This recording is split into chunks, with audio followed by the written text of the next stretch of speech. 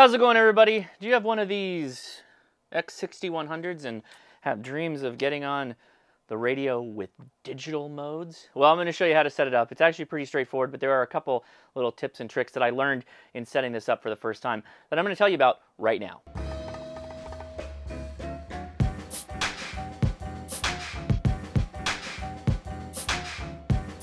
Okay, so grab your laptop or your computer, just plug the radio in. You are going to be using the dev port. That's right, don't use the host port. That's for upgrading the firmware.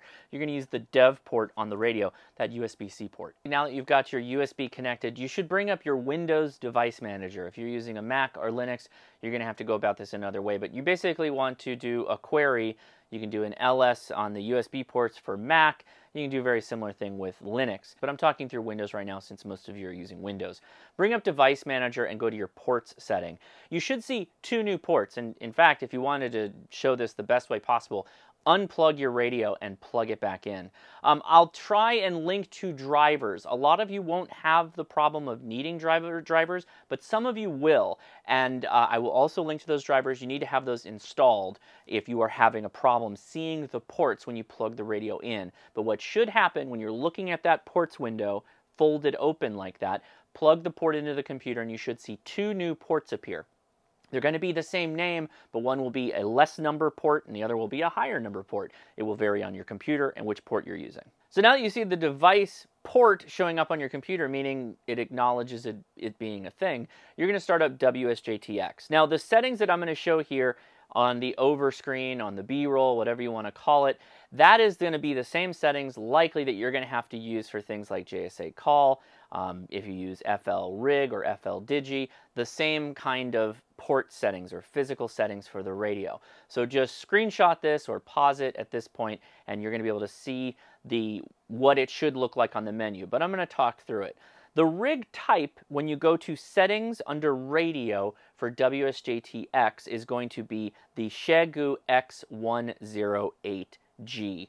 That is a ham lib configuration it is not fully utilizing, at least this is my uh, belief, my opinion, it's not fully utilizing the capability of the 6100. So just keep in mind that this works, but it's likely going to get better, or the Xiegu itself is going to get its own setting in HamLib, which will then make use of the settings that I'm going to get to in a second. Next, you're going to select your COM port. Again, mine is COM 11. You're going to use the higher of the two ports from the COM port list. At least that's been my experience. You're going to leave data bits to default, stop bits to default, handshaking to default, basically everything default. On the PTT method, you're going to select cat because you do want the application in your computer to turn on the PTT or activate the PTT for the radio and also set the frequency. Under mode, this one I've tried it multiple ways, and this is one of the things I think may be wrong with the HamLib configuration by using the 108G rig type. You can use none, USB, or data and packet. And there is an order of the madness here that I need to explain. The next one, split operation, leave it to none. Okay, so I generally will use data packet in the mode or USB in the mode. So with everything connected, the radio is on. Hopefully you had the wherewithal to put the mode into USB or USB dig, but don't worry, I'll get to that in a second. You're gonna hit test cat. Now, after you do that, stand up, walk away.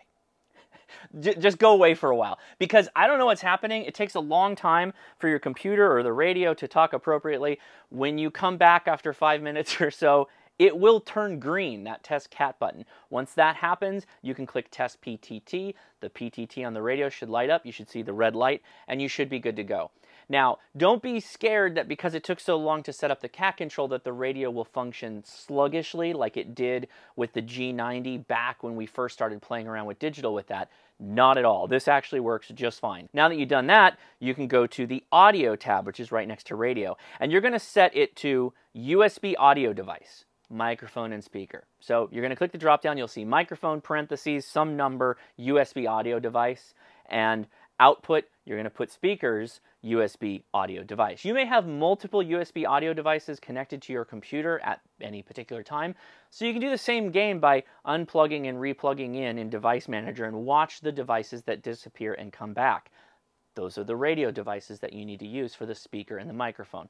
You have to have both sides for you to be able to receive, decode, and then transmit FT8 digital signals or whatever digital signals you are trying to use, like WinLink. Now once that's all working, you can click OK. If the waterfall begins to populate with little squares that kind of look like FT8 if you've watched my video or other videos, then you're most of the way there, so congratulations.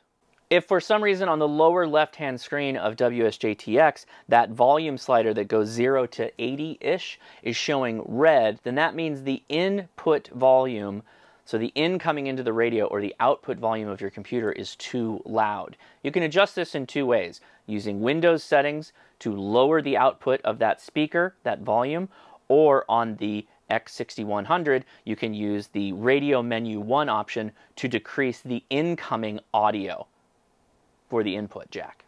That should always be in the green, that way you're getting a nice clear decode and you won't have a problem.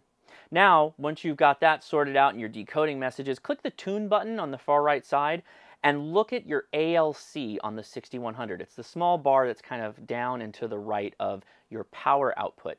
If you see that going above 2, you should take the power slider on the lower right hand side of WSJTX and just lower it down until you see that ALC kind of just above the zero point, right?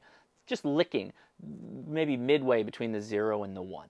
Now at that point, you're pretty much done. You should watch my video on my top five or six tips that I have for being effective in using WSJTX and FT8. But I will leave you with a bit of a caveat, and this again may be due to the hamlib configuration for the X6100.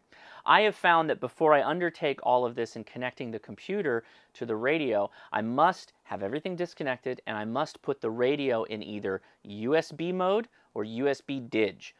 If you're on 40 meters, for instance, the radio will want to jump to lower sideband. And if you start WSJTX in lower sideband mode, it's going to take control, switch it over to USB at, when it's transmitting, and then it'll switch back and forth between USB and lower sideband and back and forth, upper sideband, lower sideband, right? So the, the trick here is before you connect the computer to the radio and start your applications, make sure you are in upper sideband mode or upper sideband DIG. Once you do that, you're pretty good to go. Okay, so there you have it. That's how you uh, set up digital modes on your X6100. I hope you found this helpful. If you have questions or issues and maybe I screwed something up, post them below. Give me a thumbs up if this was helpful, though. I would appreciate it. And if you have not already, go ahead and subscribe now. I do appreciate it. Thanks so much for watching. I'll talk to you later. 73.